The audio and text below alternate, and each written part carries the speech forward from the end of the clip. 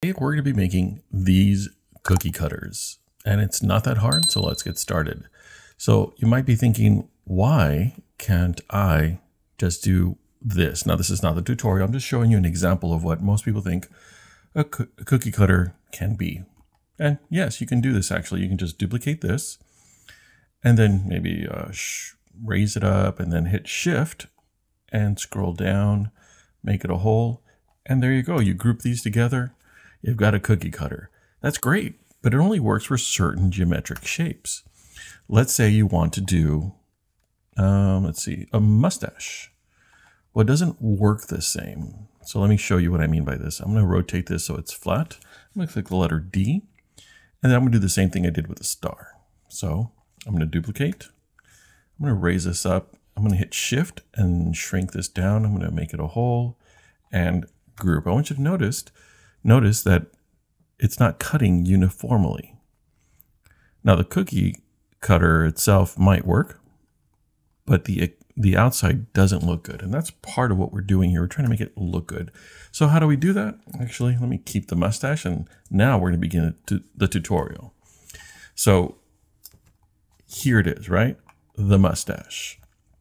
I'm going to move this down to just one. And what I'm going to do is I'm going to export export as an SVG. This is very important because where is my cookie cutter? Save as cookie cutter. And I'm going to, sure, I'll just save it up there. Cookie cutter, save. All right. So now I'm going to import. I'm going to choose that SVG, open, and I'll keep the same dimensions, import. Now here's the important part. Now I can control a lot more of the features of this mustache. For example, I could make it an inner line and the quality can go up and we'll make this a one. So now, oh, I don't want it to be sharp. I want it to be rounded. So now we have the cookie cutter, right? Now, if we want to do a little more fancy, I can duplicate this, control D, move it down to about two, and then increase this to about, let's say three. What is that? What looks good here? Line width. And this is supposed to be going outside. So I need to, say, oh, I forgot to change one aspect of it. I wanted to be an outline. My bad. So there you go. I don't like the way that looks, but that is a basic cookie cutter. It's exporting as an SVG, bringing it back in, and now you can do this very easily. But let's say you're you want to make a cookie cutter out of something that you know you don't have over here.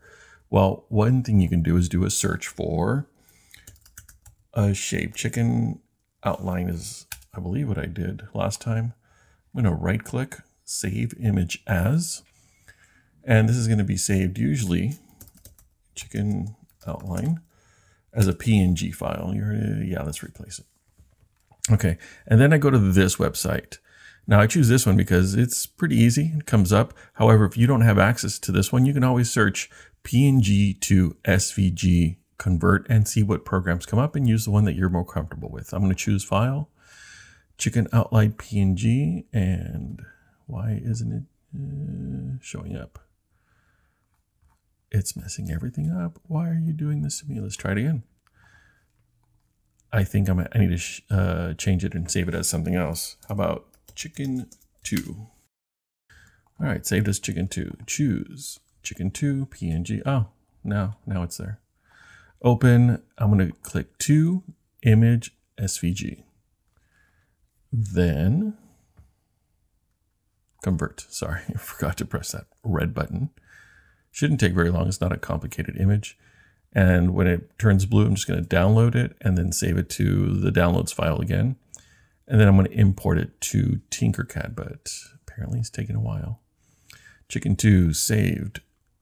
There it is, Tinkercad. Let's import it. Import, choose file, chicken 2 as an SVG, open. And I'm going to do the same exact thing I did with the mustache. Whoop. All right, so here we go. I'm going to change this to an inner line increase the quality, and then change that to one. That way we get a better line here. There it is. Now I'm going to duplicate this, control, control D, and then I'm going to shrink this to two. I'm going to make it an outline and it's going to be rounded and I'm going to change this to, uh, let's try two. Sometimes it takes a second. While we're waiting, let's change it to red. Just looks better that way. And there you go. You have made a cookie cutter. So now you found a way to do it within a shape, uh, with a shape that's inside Tinkercad and a shape that's outside of Tinkercad. And there you go. Thanks for uh, watching. Don't forget to like and subscribe and have a great day.